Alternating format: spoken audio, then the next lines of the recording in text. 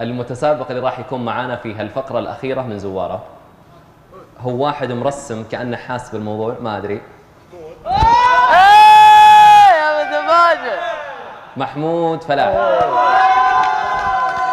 اللهم وفق محمود في أسئلته. اللهم وفق محمود في أسئلته.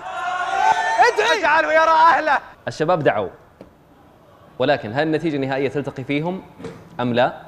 يحتاج المتسابقين تكفون يتكرمون بالصمت عشان يعطونك يا محمود الفرصة أنك تفكر بالإجابة على الأسئلة. بس بنع- بعرف إيش الإغراء اللي قدمتوه لهم عشان يجون مع إني أنا محذرهم ما يجون. الهدف من فقرة زوارة هو أن نختبر مدى ثقافة الشخص في تفاصيل عائلتهم. أنت أجبت على ست أسئلة. باقي لك سؤالين.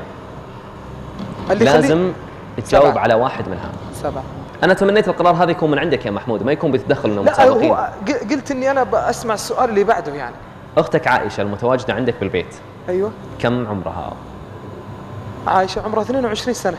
ما أتوقع أن الإدارة أبدا ترضى أن أحد من المتسابقين ما يلتقي بأي أحد من أهله ولكن هذه هي سياسة الفقرة. من أجل أن نوصل للمشاهد أنه يجب أن يعرف كامل المعلومات الخاصة بأهله. إجابة صحيحة يا محمود.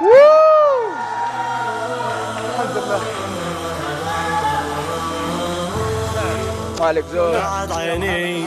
ونور القلب حسني من حرم منه ملك عقلي وملك روحي وما في داخلي والله.